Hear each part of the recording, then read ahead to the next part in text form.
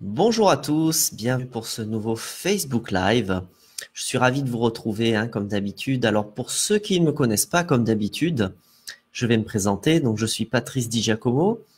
Je pratique le marketing relationnel depuis 2011 et depuis 2014, j'ai découvert qu'on pouvait faire cette activité via les derniers outils technologiques euh, modernes, tout ce qui est lié par Internet. Et donc, je me suis spécialisé là-dessus depuis 2014. Euh, Mais aujourd'hui, je vais vous parler d'une action plutôt traditionnelle et c'est l'appel à un prospect. Alors, je suis sûr que vous connaissez déjà euh, cette action si vous faites du marketing euh, de réseau, du marketing relationnel. J'avais envie d'en parler aujourd'hui dans ce live parce que voilà, c'est une action que moi j'ai eu du mal à faire au départ. C'était difficile pour moi étant de nature euh, réservée, hein, j'ai envie de dire. Et euh, il a vraiment fallu que, que je sorte de ma zone de confort, hein, en fait, pour, euh, pour vraiment commencer à maîtriser cette action qui est l'appel à un prospect. alors nous sommes en live, donc si vous écoutez en live, vous pourrez poser toutes vos questions ou les commentaires que vous voulez, j'essaierai d'y répondre. Et si vous écoutez en replay, il n'y a pas de problème. Vous laissez aussi vos questions, j'y répondrai euh, un petit peu plus tard. Alors, concernant cet appel euh, prospect, alors euh, n'hésitez pas à me, dire vraiment votre ressenti hein, avec cette action, si c'est difficile pour vous. alors déjà, est-ce que en fait on peut considérer que c'est une action difficile, l'appel à un prospect? Alors, comme je vous l'ai dit tout à l'heure, ben, je n'étais pas à l'aise, donc on peut dire que oui, mais en fait, c'est pas une action plus difficile qu'une autre. C'est-à-dire que si vous commencez à vous exercer dessus, à vous entraîner régulièrement, que ce soit avec vos filleuls, avec euh, votre lignée, vos sponsors, eh bien, au fur et à mesure, ce n'est plus une action difficile en soi. Euh, moi, c'est ce qui m'est arrivé, c'est-à-dire que, en fait, pourquoi au début c'était très difficile pour moi, c'est parce que je n'arrivais pas à la faire et en tout cas pas assez régulièrement. Et donc, c'était toujours une épreuve très difficile. Euh, au téléphone, euh, je bégayais, euh, je parlais doucement. je perdais mes mots, hein, en fait, hein, quelque part. Et c'était vraiment pas agréable ni pour moi, ni pour mon interlocuteur. Et par contre, quand j'ai commencé à m'entraîner et à le faire régulièrement, là, ça a été beaucoup plus facile. Et après, je prenais mon téléphone beaucoup plus volontiers. Hein, vous voyez Donc, euh, finalement, j'ai envie de dire, c'est pas une action beaucoup plus difficile que, euh, que l'organisation de, home party, par exemple. Euh, c'est pas forcément plus difficile que de parler en public, ni faire la liste de noms. Enfin voilà, là, je vous donne plein d'autres actions. faire une approche directe en face à face. Voilà. Chaque action est difficile en soi si on ne s'entraîne pas en fait hein, dessus. Donc euh, voilà, si vous avez cette peur sur cette action qui est l'appel à un prospect, il faut vraiment euh, vous enleviez cette croyance, hein, d'accord?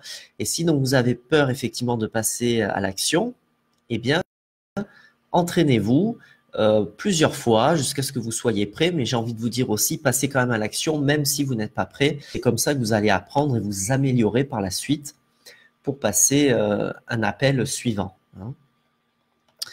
Alors, je voulais vous dire quelques mots sur Vanessa. Alors Vanessa, c'est une, euh, c'est une distributrice en fait que je connais déjà depuis quelques temps.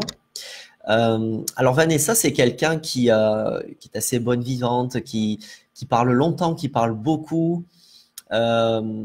Voilà, qui, on a tous un peu comme ça des, des amis peut-être autour de soi ou quelques membres de son équipe très enthousiastes, qui ne s'arrêtent pas de parler. Euh, et, voilà. Et en fait, je discutais avec Vanessa la semaine dernière. Et elle me parlait donc de cette action qu'elle faisait régulièrement, l'appel à un prospect. Et ce qui est bien, c'est que là, ben, actuellement, elle est en vacances. Et eh bien, elle continue quand même à essayer de faire quelques appels dans la semaine. Donc, c'est un plaisir hein, pour elle de faire cette action. Elle a vraiment pas peur, elle, de, de prendre le téléphone. Mais euh, ce qui s'est passé, c'est qu'elle m'expliquait que par rapport à ses objectifs euh, de départ, eh bien, euh, elle avait du mal à les atteindre. C'est-à-dire qu'en gros, une fois qu'elle appelait la personne, eh bien ensuite, euh, elle n'avait soit plus de nouvelles, soit la personne n'était plus intéressée. Donc, elle m'a demandé quelques conseils. Et donc, elle m'a un petit peu raconté comme ça euh, en fait ce qu'elle faisait. Hein. Salut Thomas, bienvenue à toi. alors, Vanessa donc a commencé à me raconter vraiment en détail hein, ce qu'elle faisait hein, euh, dans son appel prospect. Et euh, alors c'était pas drôle, hein, mais quand elle m'a tout raconté, euh, je peux vous dire que c'était assez catastrophique en fait. En fait, toutes les erreurs qu'il ne faut pas faire, elle les a faites. Donc on comprend mieux, j'ai beaucoup mieux compris hein, par la suite pourquoi elle avait des difficultés à passer euh, son appel prospect. Donc je lui ai donné quelques conseils comme ça. Euh, et, je vais vous en donner deux hein, dans ce Facebook Live. Et vous pourrez retrouver l'article complet d'ailleurs. Hein, ici, je vous ai mis le lien en dessous dans le descriptif de la vidéo. Vous pourrez euh, voir l'article complet sur euh, voilà, les sept erreurs que je trouve les plus courantes lorsque l'on fait un appel à un prospect. Aujourd'hui, on va en voir deux ensemble. Alors la première, c'est que vous n'arrivez plus à vous arrêter en quelque sorte. Alors, qu'est-ce que j'entends euh, par là? Eh bien, des fois, comme vous avez beaucoup peur, vous êtes très anxieux de passer euh, à cette action, eh bien, quand vous êtes au téléphone, ben, vous n'arrivez pas à vous empêcher de parler, de parler, de parler. Et du coup, vous ne posez pas forcément de questions, euh, vous racontez votre vie. donc, du coup, ça dure deux heures, ça dure trois, trois plombes. Et forcément, ben, si ça dure très longtemps, vous n'avez pas le temps de faire dans la journée plusieurs appels prospects. Hein.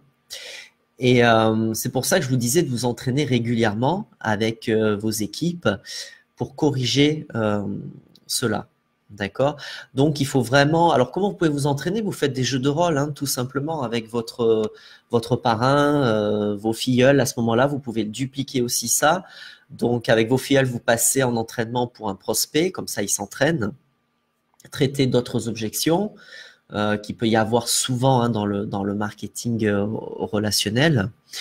Et euh, éventuellement, même après, quand ça sera les premiers appels, vous pourrez faire un appel à trois, hein, comme on dit, pour que votre filleul eh bien, apprenne sur ce que vous dites. si vous vous sentez vraiment à l'aise après avec cette action, vous pourrez proposer comme ça l'appel à trois pour vraiment former votre filleul. Hein. Voilà. Mais c'est vrai que souvent, eh bien, les personnes parlent beaucoup au début, euh, donc il faut vraiment corriger, euh, corriger cela. Hein. Ça, c'est euh, c'est vraiment important.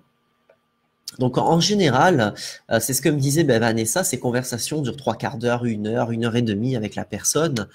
ça part un peu dans tous les sens. Alors c'est vrai que c'est bien de créer du lien hein, comme ça avec la personne mais euh, au bout d'un au moment, euh, on perd un petit peu euh, le focus hein, sur pourquoi finalement on téléphonait à la personne. Et quand vous êtes ça, c'est pas bon du tout hein, en général. Salut Lisa. voilà, donc vraiment essayez. Moi, je recommande vraiment. Après, bien sûr, il faut avoir le bon script, le bon argumentaire, bien précis. Mais je pense que 20 minutes, c'est déjà pas mal du tout. D'accord Quitte à en faire plusieurs hein, d'appels prospects avec la, même personne, c'est pas un souci. Euh, mais montrez hein, quand même que votre temps est, précieux, hein, parce que euh, euh, voilà, vous, vous, faites un business, c'est professionnel. Donc, si vous commencez à parler deux heures avec la personne, on n'est plus trop là dans l'aspect professionnel des choses, d'accord Et le piège, c'est quand vous avez un appel prospect en direction de quelqu'un que vous connaissez, un ami, quelqu'un de la famille ou une connaissance, ben là, on a tendance à rester une heure parce que euh, on va passer un moment à prendre des nouvelles de la personne, comme ça fait longtemps qu'on l'a pas eu ou qu'on l'a pas vu. Ben, du coup, on prend des nouvelles et c'est là que ça part un peu dans tous les sens. Et du coup, vous, vous continuez à parler, à parler, à parler. Il peut y avoir un stress aussi qui engendre ça, le fait de parler comme ça au quotidien. Et du coup, ben voilà, vous n'arrivez plus à vous arrêter et ça dure trop longtemps. Donc, il faut vraiment que vous montrez que votre temps est précieux et que vous avez vraiment d'autres choses à, faire hein, quelque part. Hein. Voilà, donc ça, c'est la première erreur. Et ensuite, la deuxième erreur dont je vais vous parler aujourd'hui, c'est que souvent, vous n'avez pas du tout le bon rôle euh, lorsque vous effectuez votre prospection téléphonique. Alors, qu'est-ce que je veux dire par là? Eh bien, normalement, c'est vous qui devez poser les questions et écouter lors de votre appel téléphonique. Et ce qui se passe, c'est que la plupart du temps, c'est l'inverse. Les gens ont plein plein de questions, donc ils vous en posent plein, et c'est vous euh, qui parlez, qui parlez, qui parlez. À cela, vous ajoutez quelqu'un qui est un petit peu euh, sceptique vis-à-vis du marketing relationnel. Et là, vous allez passer votre temps de conversation à vous justifier pourquoi vous avez choisi cette activité, pourquoi c'est légal euh, et pourquoi il faudrait la rejoindre, etc., etc. Donc, non, ce qu'il faut faire, c'est que votre rôle, c'est de connaître les objectifs, les buts et les rêves de votre prospect. Hein. N'hésitez pas si ça vous parle, hein, tout ce que je vous dis, si, euh, si vous voulez partager votre expérience et que vous avez fait ça hein, également, euh, n'hésitez pas à nous communiquer euh, là-dessus en commentaire, on peut parler de ça ensemble. donc voilà, une fois que vous avez connu les buts et les rêves de la personne, de votre prospect, c'est comme ça que vous devez mener votre conversation. Alors, quelles sont les bonnes questions à poser? Donc, ça sera marqué dans l'article, mais je peux vous les dire ici. Euh, par exemple, vous pouvez demander est-ce que la personne a un projet de vie ou un autre projet professionnel aussi, hein, avec lequel le marketing de la réseau, avec lequel pourrait l'aider à atteindre euh, ce projet de vie ou cet autre projet professionnel? Qu'est-ce qui séduit la personne dans le marketing relationnel? Qu'est-ce qui, euh, qui lui a donné envie d'en savoir un petit peu plus Voyez? Combien de temps elle aimerait consacrer à l'activité par semaine ou par jour? Euh, comme ça, vous voyez si la personne a vraiment envie de, faire vraiment euh, son business une priorité. Hein. Et euh, vous pouvez aussi demander combien elle aimerait gagner de l'argent plus tard et puis qu'est-ce qu'elle aimerait en faire hein, de cet argent. voilà. Si vraiment après elle a vraiment trop trop de questions, l'idéal c'est de l'envoyer vers un autre outil qui va répondre à ces questions. Il faut vraiment que vous automatisez le plus possible. Hein. Je répète, votre appel prospect doit durer vraiment une vingtaine de minutes, hein, pas plus. D'accord? Donc, si vraiment il y a trop de questions, vous l'envoyez vers un autre outil. Donc, qu'est-ce que c'est cet autre outil? Ben, Ça peut être un, euh, un, site internet, une vidéo, une page de présentation. Euh, voilà, hein, toutes les idées euh, sont bonnes. Et, et du coup, ben, vous l'envoyez vers cet outil et ensuite vous reprogrammez un autre appel avec cette personne. Ça, c'est quelque chose déjà de, plus intéressant, plus intelligent. Euh, voilà, il faut vraiment euh, durer là-dessus. Hein. Donc souvent, qu'est-ce qui se passe, comme je l'ai dit? Eh bien, pendant la conversation, vous justifiez tout le temps et finalement, vous ne posez-vous aucune question alors que normalement, c'est votre prospect qui doit parler 70 à 80% du temps lors de cet appel prospect.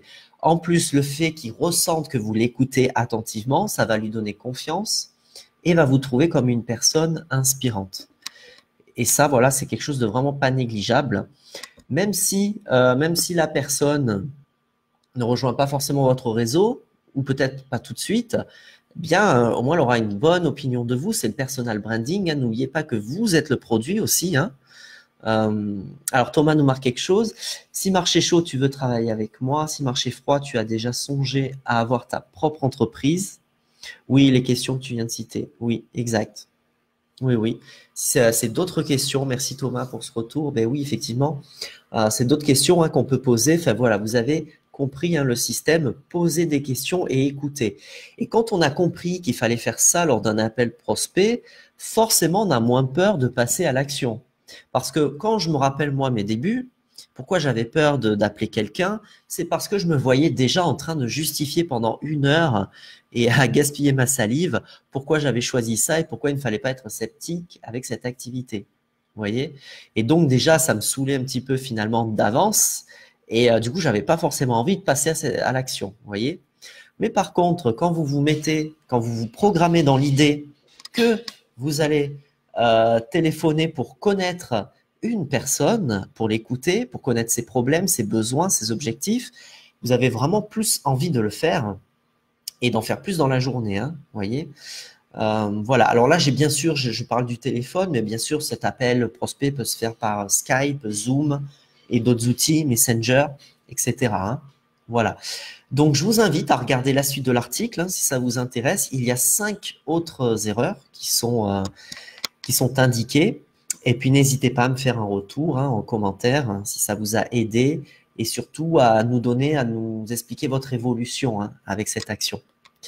Voilà, et eh bien moi je vous retrouve euh, avec plaisir. N'hésitez pas, si encore des questions, je reste encore quelques secondes connecté. Et, euh, ou des remarques, bien sûr. Euh, voilà, là, c'est les deux erreurs qui, sont importantes que, que l'on fait le plus souvent. J'ai envie de dire, les autres aussi sont importantes. Euh, je vous laisserai lire dans l'article, hein, je vous ai mis le lien dans la description de la vidéo. Alors oui, tout à fait, Thomas explique, oui, pour commencer à filtrer, voir l'intérêt, pour éviter de perdre du temps par la suite si réponse négative à ces premières questions. Mais oui, tout à fait. En posant des questions, vous faites déjà un tri hein, de, vos prospects. Vous voyez de suite si la personne est intéressante, si elle est intéressée également par, euh, alors par déjà par vous, j'ai envie de dire, puisque vous êtes aussi le produit, et aussi est-ce que si, elle est intéressée tout court par le marketing relationnel, parce qu'elle peut très bien être intéressée par le marketing de réseau, mais elle n'a pas forcément de feeling avec vous. Bon, ben ça peut arriver, hein, c'est pas grave, on peut pas plaire à tout le monde. Euh, mais voilà, bon, en principe, c'est rarement, euh, s'il y a eu un appel prospect, il y a quand même un minimum de feeling entre temps, puisqu'il y a eu les autres étapes avant de fait, mais bon, on ne sait jamais. Mais euh, voilà, en tout cas, euh, écoutez aussi ces réponses. Si les réponses durent euh, trois secondes, oui, non, oui, je sais pas, bref, voilà, ça va pas durer très très longtemps et je pense que mettez la personne de côté en attendant, vous la laissez revenir elle-même quand elle sera plus intéressée ou quand elle aura davantage de questions. C'est ce qu'il y a de plus intelligent à faire. Hein voilà, plutôt que d'essayer de convaincre pendant une heure. Voilà, donc c'est vrai que voilà l'intérêt, hein, comme disait Thomas, de poser des questions pour savoir si déjà la personne a un état d'esprit positif ou négatif. Hein. Voilà, et eh bien écoutez, je pense qu'on en a pas mal parlé hein, de ces deux premières euh, erreurs. Je pense que vous avez euh, peut-être, euh, alors pas forcément un déclic, mais peut-être voilà, ça vous fait réfléchir à des choses et, à changer un petit peu la manière dont vous fonctionnez jusqu'à présent. Ça peut être vraiment intéressant là-dessus. Voilà, donc n'hésitez pas à vous abonner hein, sur cette fanpage, Réussir son MLM Patrice Di Giacomo si vous ne l'avez pas encore fait, parce qu'il y aura plusieurs lives comme ça par semaine et par mois. Euh, donc ça peut vraiment être intéressant hein, pour votre activité. Voilà, eh bien je vous souhaite une excellente soirée ou une excellente journée selon l'heure à laquelle vous m'écoutez. Voilà, à très bientôt et merci pour votre attention. À bientôt, ciao ciao.